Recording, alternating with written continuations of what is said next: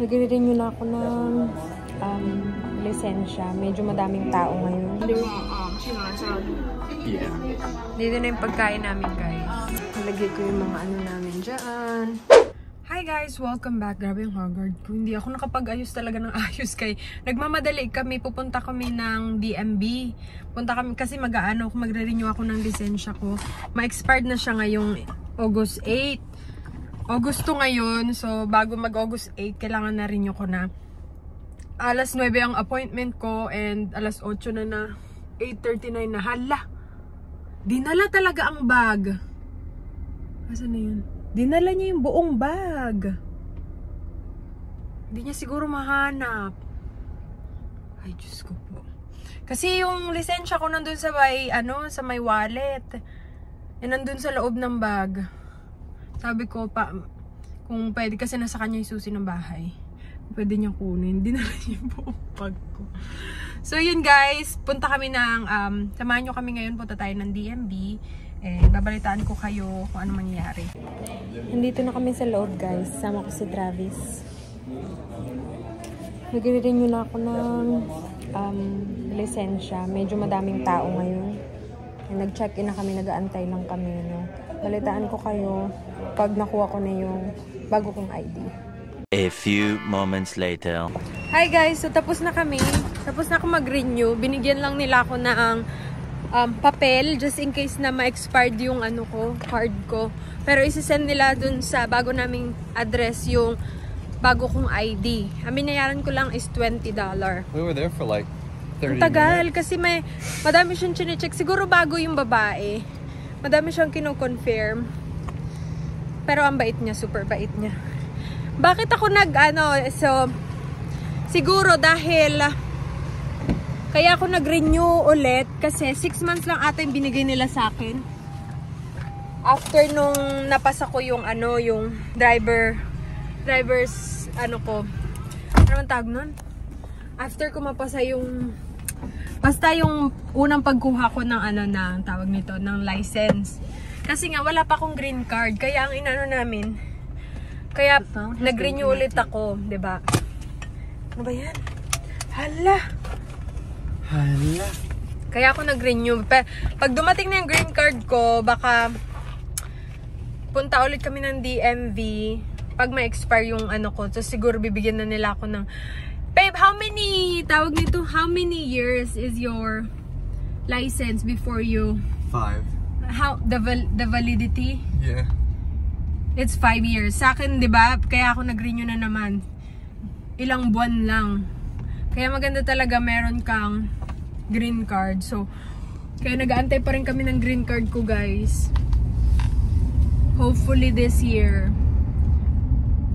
And hindi ko kasi sila masyadong kinukulit.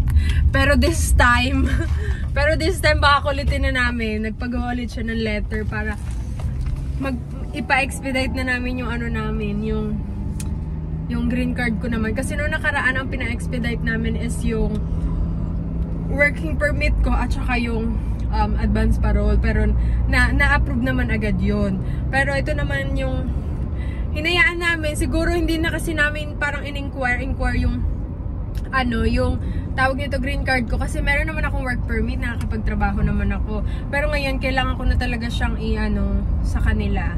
Kasi, siguro one year na babe, di ba? One year na ata.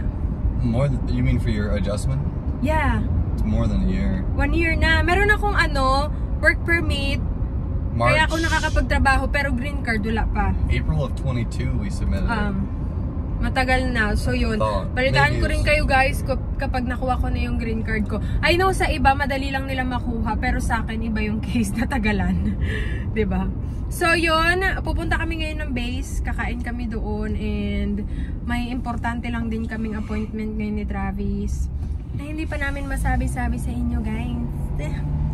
Basta um, punta kami ng base and ayun, magtingin din kami, nag- nagtitingin tingin kami ngayon ng rug or yung mat para dun sa gaming room namin.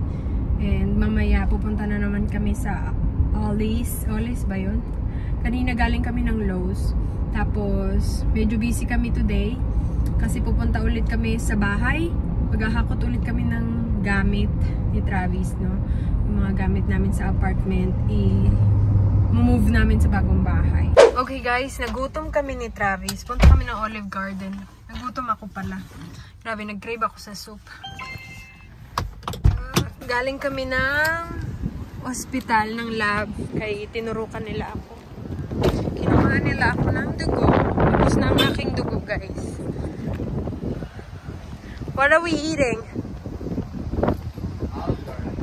Olive Garden. Yung favorite naming zoo pa Toscana. Hindi ko alam kung nasaan kami. Nag Traffic kasi sa highway kaya nag-back road kami. Dito tayo. Hindi ko alam kung saan to. Virg ano to babe? Virginia Beach Boulevard? Yeah. Hey!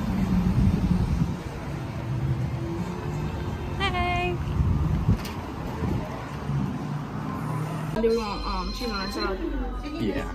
Dito na yung pagkain namin, guys. And with the salad. Ang bilis, guys. Tapos may receipt na, na agad. Seventy dollars. What? Seventy dollars. No. No. Nandito kami ngayon, guys, sa Ollie's. Madami ditong murang mga gamit. O, nandito tayo sa mga... Ayan, tignan But Yeah. Yung alam mo yun, yung parang mga ukay sa atin sa Pilipinas. Oh, may mga bagbag sila dito. Chlorine. Ay, tare, may pang ano na din sila. That's chlorine. Yeah. May pang ano na sila Halloween. Pum, pum. Let's go to the carpet. Uh, kasi kailangan namin ng rug or carpet. Oh my gosh, look at this, babe. Magkano yan? $10. They're in the way back. Carpet? Yeah. Okay. Yeah. Eto, tignan nyo, mga okay talaga siya, guys. Diba?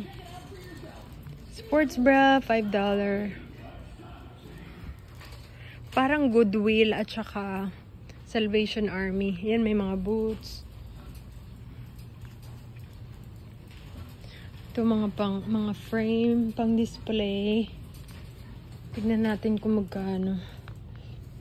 $8. No. Maybe the, for the... What? Plugins. Oh, yeah. Those are still expensive. It's still the same price, right? Meron silang mga scented candle. Pero pupunta kami sa may mga rug section. Kailangan namin ng mat.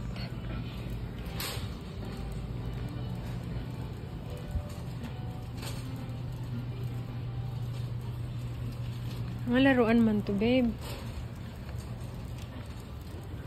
Oh, nice. What is that?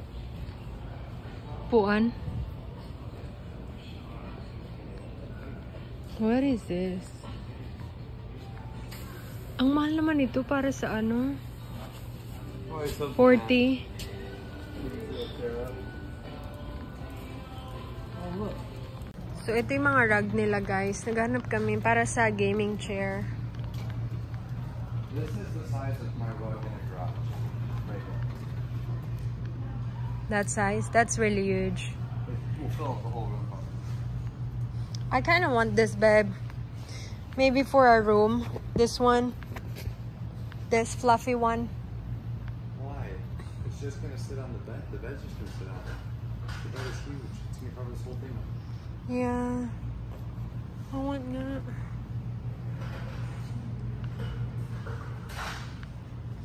You don't want to cover up the hardwood. It was just refinished. Fine. What about these? Look, come here. That one? It's ugly.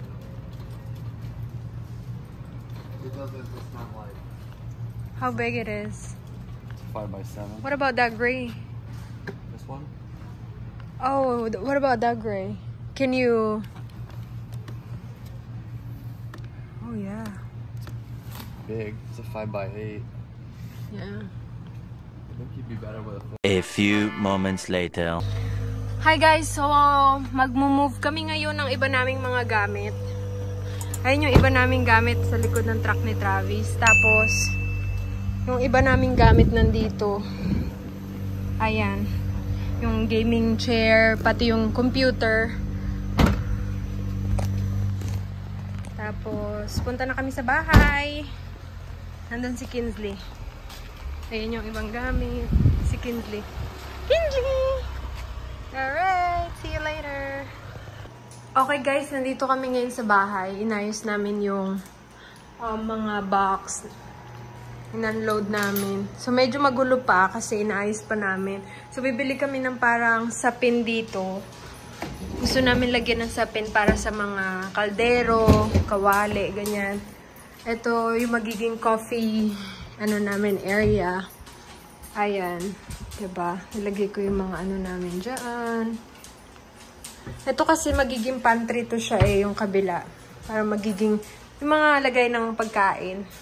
Hindi pa namin nahakot yung mga pagkain namin. Tapos ito, ayan, mga lagay ng baso. Tapos, ito lagayan ng pinggan. Ayan. Tapos ito yung mga malalaking pinggan. Ilagay ko dyan yung iba. Pero yung iba, hindi pa namin na aayos. Tapos punta naman tayo sa kabila. Punta tayo sa may um, unang CR. So, ang nilagay ko lang dito is yung mga tawag niyan. Mga anik-anik. Mga shampoo, conditioner, yung mga personal hygiene, pang gamit sa ano. Tapos, ayan. So, ayan. Kinsley! Ayan. Lilipat ko yun dun sa kabila kasi meron palang lagayan ng medicine, mga gamot dun sa kabila. May drawer pala. Tapos, eto wala pang kalaman-laman talaga to. Bali, magiging guest room to siya. And meron din siya dong, um, tawag nito, closet. Tapos ito, siguro lagayan lang namin to ng towel, tapos ibang mga gamit. And ito ang gaming room, ito yung magiging gaming room namin, guys. Wait, buksan natin ilaw. Bale, ito yung magiging gaming room namin. Inano na namin yung isang, um, itong isang computer. Bale, yung, ayan yung ano ko. Tapos yung kay Travis sa kabila. So, gagawa namin siya in, gusto namin kasi yung parang ano lang, simple setup lang para sa gaming room namin or magiging office room namin to. Yan. Kasi mahilig kami maglaro ni Travis. Tapos meron din siyang closet dito. Tapos ito yung magiging closet ko. Ayan. Ito naman yung kay Travis na napakagulo talaga naman. Kasi nga daming ang damit, hindi pa namin naayos. Tapos, ito yung magiging, um, ano namin, CR namin. Kasi ito yung pinaka nasa, ano, nasa master's bedroom. Hindi ko alam na meron pala tong ano, tawag nito, ayan o, cabinet. Sabi ni Travis, lagayan daw din ng medicine. Ayan, ito yung mga ano namin. Tapos ito yung toilet, ay yung, yung, ano bang tawag niyan? Ano, bowl. Tapos, ito yung um, shower room. Ito yung pinaka-shower ano, area. Yan. So, yan lang guys. Ang update, ba? Naghakot kami ngayon. Nagunti-unti kami ngayon para sa susunod, kaunti na lang yung hakutin namin. Sama namin si Kinsley. Nung nakaraan, nag-mow kami. Ngayon, ang lago na naman ng ano. So, bukas babalik kami para mag-mow. So, yun lang ang vlog natin for today. Thank you guys for watching. See you again next time. Bye! Kinsey! Kinsey! Bye!